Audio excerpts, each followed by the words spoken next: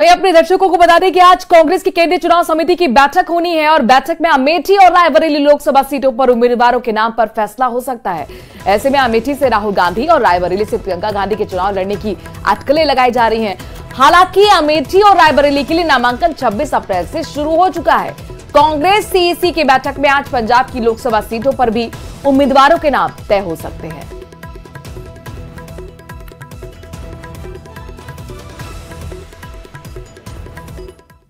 उधर केंद्रीय मंत्री स्मृति ईरानी लगातार अपने लोकसभा अमेठी क्षेत्र में चुनाव प्रचार कर रही हैं। तो वहीं दूसरी तरफ़ कांग्रेस कार्यकर्ताओं को भरोसा है कि तीसरी बार राहुल गांधी और स्मृति ईरानी अमेठी लोकसभा सीट से आमने सामने होंगे।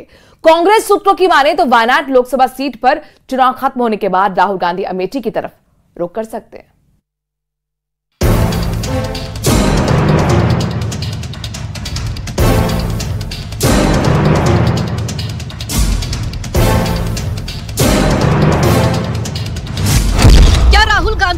अमेठी से लड़ेंगे चुनाव। क्या अमेठी का दंगल फिर स्मृति ईरानी वर्सेस राहुल गांधी होगा? 24 का रण, अमेठी का मूड समझिए। क्या तीसरी बार अमेठी लोकसभा सीट पर स्मृति ईरानी और राहुल गांधी आमने सामने होंगे? क्या राहुल गांधी अपने परंपरागत सीट अमेठी से लोकसभा चुनाव लड़ेंगे? ये सवाल हर किसी के जहन में है। 2019 में राहुल गांधी को चुनावी पटकनी देने के बाद एक बार फिर 2024 के लोकसभा चुनाव में केंद्रीय मंत्री स्मृति ईरानी गांव-गांव में जाकर सभाएँ कर रही हैं और राहुल गांधी पर करारा वार कर रही हैं। आज अगर हम गांधी परिवार से कहें, मुसाफिर खाना कहाँ है? और मटियारी जी का गाँव कहाँ है, बता पाएँगे? अगर आज हम कांग्रेस के दिल्ली के नेताओं से कहें, ये बताओ, भेटुआ कहाँ है, भादर कहाँ है, बता पाएँगे? सिंहपुर कहाँ है, संग्रामपुर कहाँ है, ये बता पाएँगे? हलियापुर कहाँ है और हरिहरपुर कहाँ है बता पाएँगे?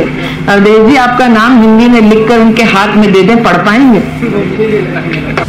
स्मृति ईरानी पूरी तरह से कॉन्फिडेंट है कि इस बार अगर राहुल गांधी अमेठी आते हैं तो उनकी हार 2019 की हार से बड़ी होने वाली है। पाँच सालों में तीन हज़ार साठ सात सौ पैंसठ घर बने हैं। पूरी अमेठी लोकसभा क्षेत्र में एक लाख चौदह हज़ार गरीबों के घर बने हैं पाँच साल में, जिसमें से दो साल कोरोना का था मतलब काम करने के लिए मेरे पास तीन साल था। कांग्रेस पार्टी पंद्रह साल लापता सांसद के माध्यम से दस हज़ार घर भी बनाई थी क्या? हम तीन साल में एक लाख चौदह हज़ार घर बनवाए हैं। इस बार भी स्मृति ईरानी गांव-गांव जाकर छोटी छोटी सभाएँ कर रही हैं। और इन सभाओं में गाँव की महिलाएँ ज़्यादातर स्मृति ईरानी को सुनने के लिए आ रही हैं।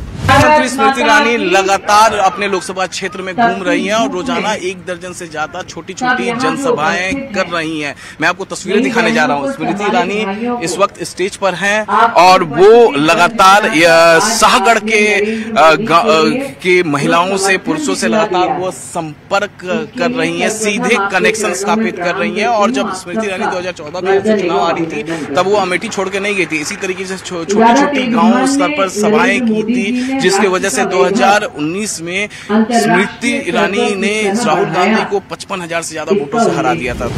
न्यूज़ एटीन इंडिया की टीम अमेठी के कई इलाके गई और लोगों की राय जाने की उनकी नज़र में बेहतर कौन है स्मृति ईरानी या राहुल गांधी? मोहम्मद यूनिस जी कितनी बार आपने अपने पुराने सांसद से मुलाकात की? कितने बार पुराने सांसद को इलाके में देखे आप? अरे नहीं कहाँ हुआ? राहुल गांधी आ रहे हैं यहाँ। कभी भी नहीं आते तो दीदी से तो मिलते हैं बराबर। हर बार रहते हैं उनके साथ। 2019 में स्मृति ईरानी ने जैसे ही अमेठी से राहुल गांधी को चुनाव में शिकस्त दी, उसके बाद स्मृति ईरानी समझ गई कि अगर अमेठी में बने रहना है तो लोगों के बीच ही रहना पड़ेगा। जिन महिलाओं से स्मृति ईरानी ने मुलाकात की, उन महिलाओं से न्यूज़ एटीन इंडिया ने भी बात की। कांग्रेस सूत्र बताते हैं कि वायनाड का चुनाव खत्म होने के बाद राहुल गांधी अमेठी की तरफ़ रुख करेंगे। और यही वजह है कि अमेठी की कांग्रेस कार्यकर्ताओं ने सबसे पहले राहुल गांधी के घर की साफ़ सफ़ाई करवा दी। वैसे अमेठी की कांग्रेसी कार्यकर्ताओं को उम्मीद है कि राहुल गांधी ज़रूर अमेठी से चुनावी पर्चा भरेंगे। दूसरी तरफ़ कांग्रेस के कार्यकर्ता लगातार डोर टू डोर घूम रहे हैं और कांग्रेस के मैनिफेस्टो को अमेठी के लोगों को समझा रहे हैं। कांग्रेस के जो कार्यकर्ता हैं, वो कांग्रेस के जो मैनिफेस्टो है उसे लेकर डोर टू डोर जा रहे हैं और पूरी तरीके से तैयार हैं ये। जब पूरा मैनिफेस्टो दिखाइए कांग्रेस का गारंटी कार्ड दिखाइए। ये देखिए ये ये देखिए जरा इसको सीधा करके दिखाइए कि किस तरीके से कांग्रेस का गारंटी कार्ड और कांग्रेस ने यहाँ रणनीति बदली हुई है। क्या राहुल गांधी आ रहे हैं कि नहीं यहाँ से चुनाव लड़ने? जी आ रहे हैं। कोई सूचना आई है आप लोगों के पास? नहीं सूचना नहीं आई है, आएँगे चुनाव लड़ने आएँगे आप। राहुल गांधी अमेठी से चुनाव लड़ेंगे या नहीं? ये तो जल्द ही साफ़ हो जाएगा। लेकिन सौभाग्य की एक बात अमेठी में स्मृति ईरानी का पड़ना भारी दिख रहा है।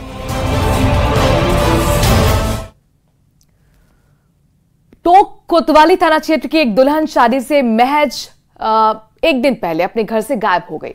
इसका पता लगने के बाद परिजन और आसपास के लोगों ने इधर उधर तलाशा। युवती के नहीं मिलने पर वो कोतवाली पहुँचे हंगामा खड़ा किया रोड तक जाम कर दिया। मामले की गंभीरता को देखते हुए तीन थानों की पुलिस के साथ अतिरिक्त पुलिस जाब्ता तैनात कर दिया गया। पुलिस और प्रबुद्ध लोगों ने हंगामा कर रहे लोगों को समझाकर थाने से बाहर हटाया।